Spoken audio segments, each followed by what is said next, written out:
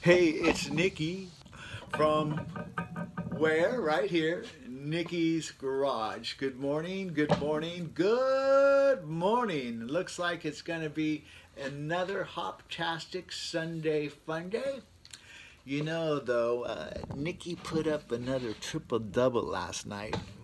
When he woke up this morning, he was just not having that get up kind of feeling, but then he remembered that, hey, that's what they make coffee for. So this morning, Nicky's going to start his day with a Burley Brew from the BeachWood Brewing Company located in Huntington Beach, California.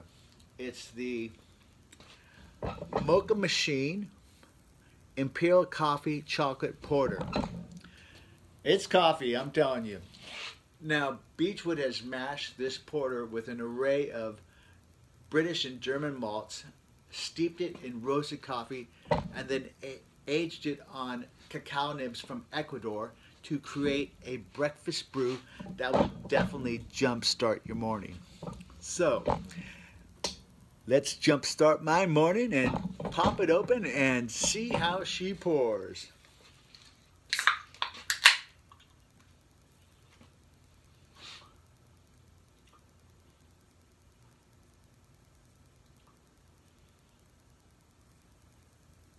Smells like coffee, I'm telling you.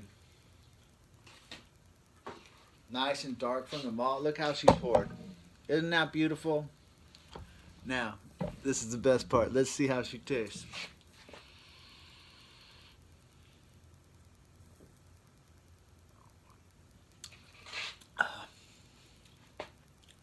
Now, coffee, chocolate, and beer.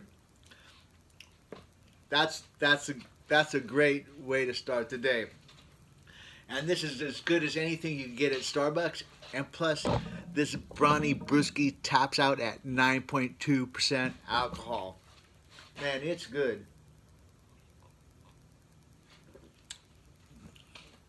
So, if you see this beer at your local liquor store, mine is the Liquor Republic in Cypress. You want to buy it and try it because Nicky gives this porter seven and a half beer burps.